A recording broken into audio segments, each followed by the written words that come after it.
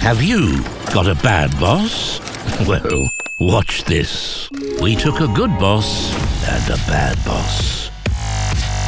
We gave them a team each and set them some challenges. A good boss lets you have regular breaks.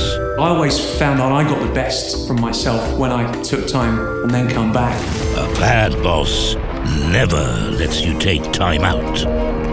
I don't take breaks. Um, you know, if people want to have water or coffee or still work while you're doing it. So there we go. It's good versus bad. Breaks versus no breaks. Who will win? Here's the first challenge building a balloon tower.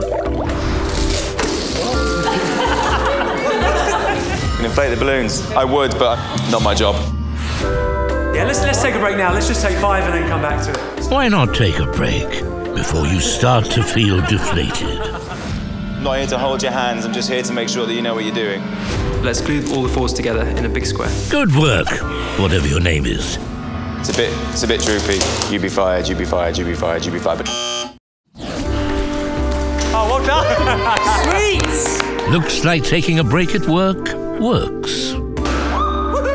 And now the big finale, laying a thousand dominoes in one hour. Will it all fall down for one team?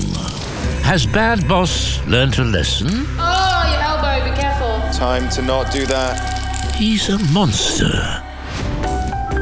Let's take a break. Yeah, just a few minutes, have a drink, and come back to it when we're fresh. Quiet, genius at work. Push, push, push. Looks like he's run out of time and ideas.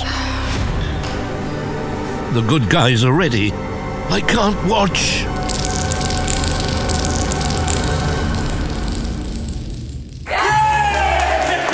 Yes, good boss versus bad boss is settled forever.